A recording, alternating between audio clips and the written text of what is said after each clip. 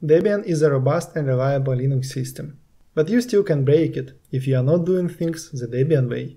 This video is about the most common mistakes made by new Debian users. Learn what you should avoid doing in your Debian system.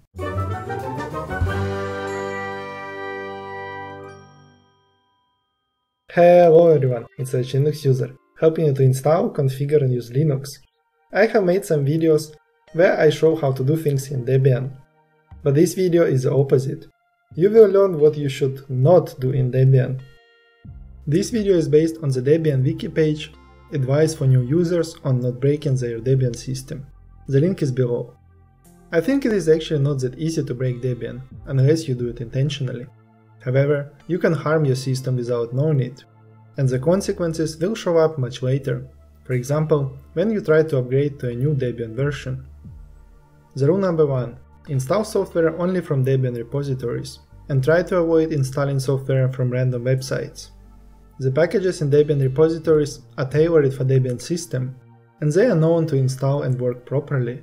Debian repositories are the largest in the Linux world, and only some very specific software can be found there. If you add contrib and non-free repositories to your source list, you will have access to almost all software you need. If you still need some programs that is not available in Debian repositories, try not to install them system-wide. Make a folder programs in your home directory and place all unofficial programs there. Many Linux programs come as executable files, so copy the program files to the programs folder and make them executable. Then add programs to your system environment now you can run this program from anywhere. To make it permanent, you need to run this export command during the login.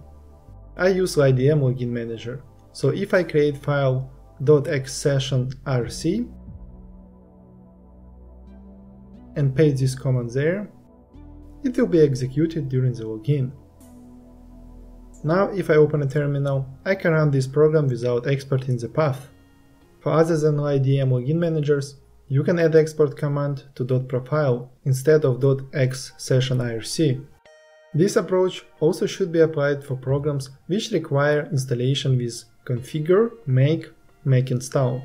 Do not install them system-wide using administrative privileges. In other words, do not run sudo make install. If you install a program this way, it will be out of control of apt package manager so you won't be able to remove it with sudo apt get remove or from the Synaptic Package Manager. Besides, software installed this way may conflict with other installed packages, and these programs won't update automatically, so it may be a security issue in your system.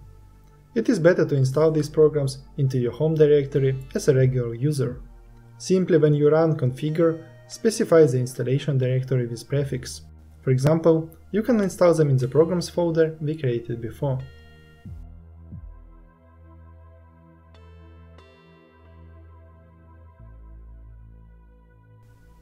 Do not combine Debian stable with other Debian branches. You should not combine packages from Debian stable and Debian testing or unstable. If you open your source list, all the repositories there should belong to one Debian branch. It is Debian Stretch in my case. That is a stable branch. If I also had testing repositories here, it would have been wrong. Do not use Ubuntu packages and repositories in Debian. Although Ubuntu is based on Debian, there is no backward compatibility between Ubuntu packages and Debian. So you cannot add Ubuntu PPAs or install deb packages created for Ubuntu. If you really need Ubuntu programs on Debian, there is a way to make Ubuntu PPA packages suitable for Debian. Follow this guide, I leave the link in the description. Do not install drivers using manufacturer install script. It primarily concerns graphic card drivers, it is not recommended to install drivers you download from non-Debian websites. These drivers may work fine, but you will have to reinstall them manually every time a kernel of your system is updated. Debian provides free open source drivers for most hardware, so use these drivers. If you absolutely need proprietary drivers, for example an open source driver doesn't work correctly or a proprietary driver works better, install a driver following the Debian way. Usually it is as simple as add contrib and non-free repositories to your source list. Installing Linux headers and FGLRX driver package for AMD card or NVIDIA driver for NVIDIA card. But you better consult Debian Wiki for details before you attempt installing these drivers. Debian project phrases it this way don't suffer from shiny new stuff syndrome. Basically, the reason that Debian stable is stable is because all programs are not bleeding edge. Every piece of software is well tested before making it into Debian main branch, so it is little old. If you absolutely need a more recent version of a program than it is available in Debian stable, first try to install it from Debian backports. If it is not available in the backports, you can install it from an official source, but it might not work correctly and probably won't get security updates. Be careful with removing software. In Debian, many packages are connected and share dependencies.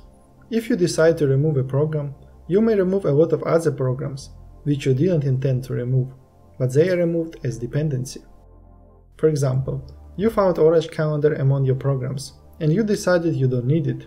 You open Synaptic search for orage, and select to remove it. And as you can see, this action would remove the whole XFCE desktop, and you wouldn't have a graphical interface after this.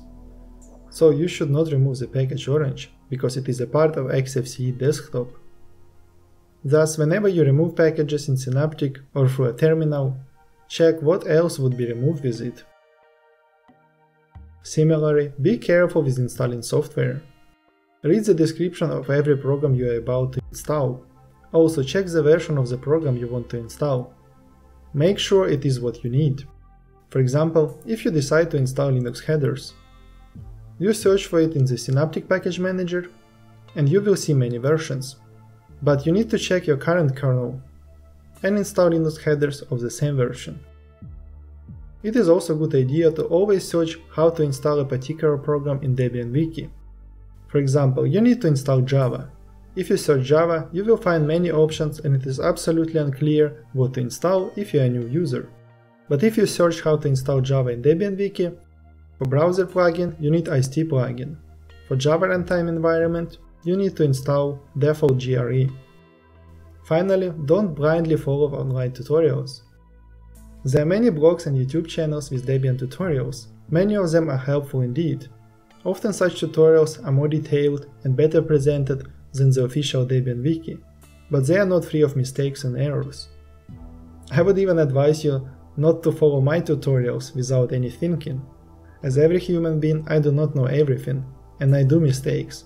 For example, in my X video, I showed how to install X system-wide, but it is not official package, and installing it system-wide is against Debian recommendations. It is not a fatal issue, and the way I show it in the video isn't wrong, but it is not recommended by Debian. X still installed this way on my system, but ideally it would have been better to install it as a regular user into my home directory, but this way would have also been more complicated than the way I showed. And I didn't know about don't break Debian rules at the time of this video. So the best way is to always follow Debian wiki. But if you follow unofficial tutorials, think about what you are doing. So these were 8 rules how not to break your Debian system. These are not strict rules, think about them as recommendations. If you have anything to add to this list, you know where the comment section is. I and the other viewers will greatly appreciate if you share your knowledge. Thank you for watching.